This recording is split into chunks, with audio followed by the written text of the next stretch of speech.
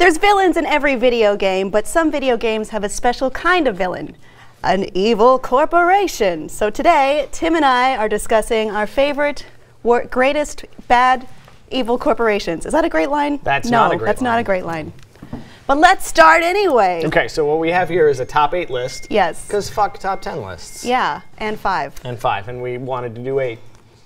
Um, okay, so number eight on the list is Abstergo. They're the Templar organization from Assassin's Creed. Yes, they are a, a special kind of evil because it seems that the entirety of their company is just dedicated to evil acts. Yeah. There's no front necessary. They don't produce anything. They may don't as well be provide evil goods or incorporated. services. Yeah, they're just evil, straight evil, with no dancing around the issue. And that's why they're last on the list, because it's just like, come on, guys, make a Put a little effort make in. a laundromat or something. Even the mob does that.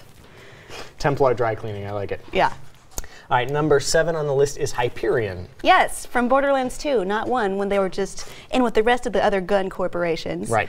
Uh, this is led by Handsome Jack. He takes over, what is the name of the planet? Pandora. Pandora. In an effort to just control it all and kill everyone, especially the Vault Hunters. Now, would you say that the company itself is evil, or just Handsome Jack, the you know leader of the company? Well, I think he's evil, but since it's like a, a trickle down effect of evil, Mm, they're yes. evil too. Because they follow, yes, Reaganomics, Reaganomics of evil. Which is also evil. they don't make necessarily guns that are evil. No, well, they make like kind of shitty guns, like the Shitty. Walmart of guns, you know, in that game. And I, I like. If they're the Walmart of guns, they might should be number one on this list. no, for like, evil. okay, and the levels of quality. Okay. I'm more into Jacobs. That's just me. Okay. Number six on the list is Ultor. Uh, I think Ultor deserves a special place on the list because it's the evil company in not one but two game franchises, Okay. both um, Saints, Saints Row, Row. and Red Faction. Uh huh. Now, the interesting thing about Ultor is that in Saints Row, you see that they start as like a small clothing line company. Uh-huh. And then they eventually advance to the point of interstellar, interstellar mining conglomerate. How, where is the transition in that? I'm not exactly sure, but you could see the roots of it forming in Saints Row. You, That's you, you can like discover secret futuristic mining machines. That's like if Ralph Lauren suddenly decided, let's get into drilling yes, on Jupiter. on Jupiter. There's nothing to drill on Jupiter. That's the worst part. Move That's along. stupid, Ralph Lauren. All right, number five is Aperture Science. I like Aperture because they're not necessarily evil so much as they're very irresponsible and unethical. Well, considering they started as a shower curtain manufacturer, That's company- what they started as? Yeah, making shower curtains for the military. Okay. And then they were developing new types of uh, plastics and techniques, and then eventually got into the you know spatial distortion business. Lemon grenades. But you're right; it's it's uh, it's much closer to a lack of uh, ethics. Well, they don't, you can tell that they don't really care what happens to the test subjects or anyone who uses any of their products.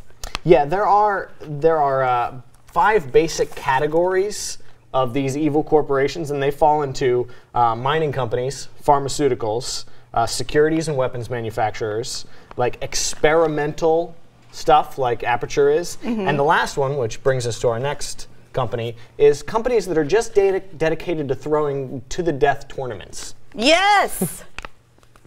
So, you want to intro this one? Mishima Zaibatsu. It's the, the organization run by the Mishimas, Heihachi and Kaz- Kazuya, Kazuya and Jin in the Tekken series. And all they seem to do is throw death tournaments and send out death squads to kill people who might win the death tournament.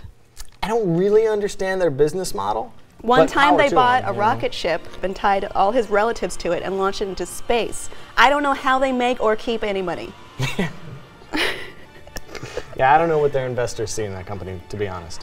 All right, number three is a tie. Yes. Because these two evil companies, they're pretty much evil in the same way. Uh-huh. Uh, it's Black Mesa and Union Aerospace Company uh, from Doom. And what they have in common is they both opened a portal. Yes, they Doom. have you know wanton disregard for their activities and what they do, and they each opened up a what would normally be you know fine interdimensional travel, except they opened it up to a, a dimension that's like full of Bad nasty- evil dimension that ruins this dimension. Yeah, whether it be another dimension or hell itself.